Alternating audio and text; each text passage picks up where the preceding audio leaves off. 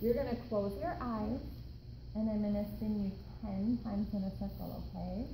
Then I'm gonna stop and you're gonna keep your eyes shut until all of the dizziness stops. And then you'll open them. Okay? If for some reason you feel sick, just tell me to stop and I'll stop. Sound good? Okay, so close your eyes and keep them closed the whole time. Is sitting.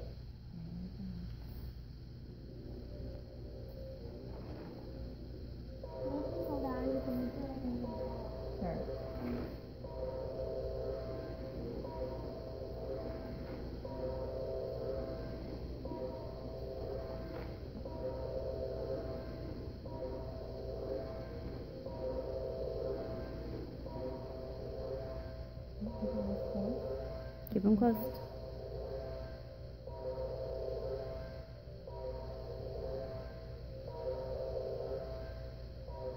Yeah, I see your eyes now. How did that feel? Weird. Okay, we're gonna go the opposite direction now? Clockwise rotation is sitting. Keep your chin right about there.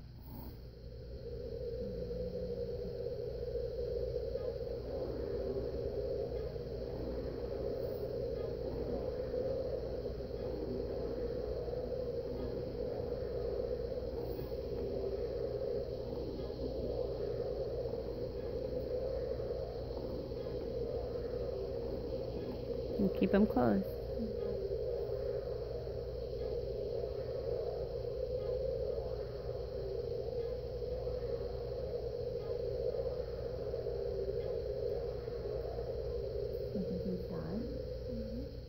Don't start spinning on your own.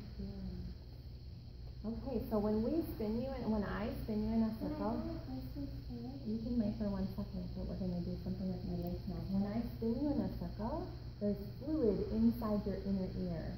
And when we spin you, that fluid starts swishing through your ear.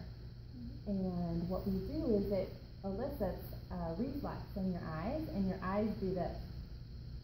Go back and forth really fast. And I can see your eyes blinking under your eyelids. You can see your eyes are moving. That's what makes us feel dizzy when our eyes move. Okay, so now the next part is we're going to see how your eyes move with my lights. Okay, so there's more music or noises that come through on my radio, and you're going to watch, you're going to look at the light that is on. Okay?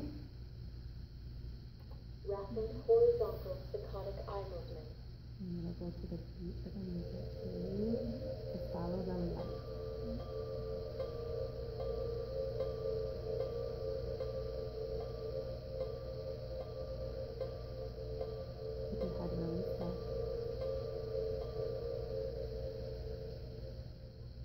Now it's gonna go a little slower. So you do it fast. Slower horizontal And then we do eye movement. Head really still. And just make sure you're looking at one light.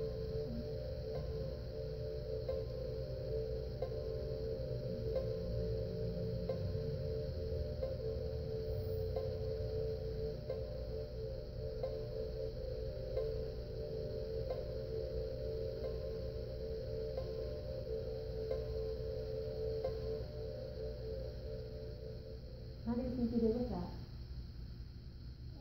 Did it feel? Did you see his eyes?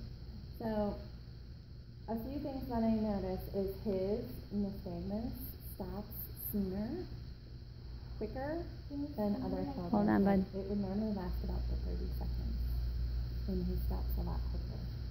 When he goes, first of all, he's, I think he's anticipating like Yes. which light to look to Like just a waiting till it pattern on. instead of, Yep. yeah. And every time he looked, he would overshoot the target and like have to come back. So his eye would go like too far, and then it'd have to come in a little to see it, and then it would go in the other direction, too far, and come in. So you want it to be a really quick, precise Mhm. bounce back and forth. You can practice that, you know, at home, like with just having two targets, and he just has to and he still has some head movement Yep. tendency too. So you can put something on the head, like a beanbag or something, to keep the head still. It just gives them a little input. and like maybe have a little puppet and two little stuffed animals or whatever. And he's just going back and forth between the two. And you can maybe um, count to make it faster or Mhm. slower or that sort of thing. So that's something you could practice Okay. at home. Okay. All right, so that was side to side. Now we're gonna just try up and down, okay? You're gonna actually lay on your left side to start with, and then we'll show you what the picture looks like. Okay, this is called left side lying. You see how this boy is laying on his arm, Oliver? Can you tuck your knees up and lay your head on your arm for me? So your head needs to actually be kind of like down a little bit. It needs to be, say, about nose kind of pointed towards the board. 45 degrees off of midline.